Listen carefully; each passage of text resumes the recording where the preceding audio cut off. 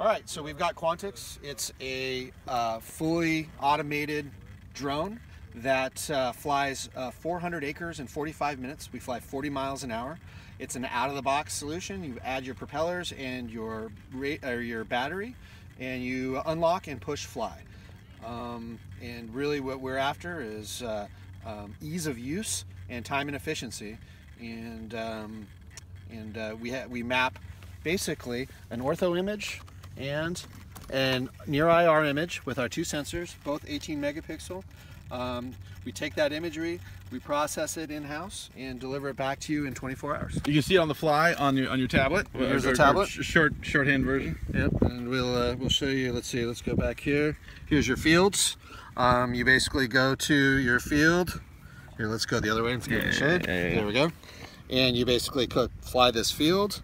Uh, you select your drone and you push select and it goes through a health check right i have mm -hmm. to mm-hmm. right, turn right, it on right, and off because of the battery but that's basically uh, and then you go to a push to fly sweet goes up to the cloud you guys render it um, stitch it and then you, within 24 hours or so you guys have your you have your your product yeah 24 to 36 most okay. most every most everything will be 24 hours uh, cool. unless you get up to the full 400 acre flights and then okay. we'll, we'll take a little more time cool so quantix and Quantix. this is available in february february right cool. yep awesome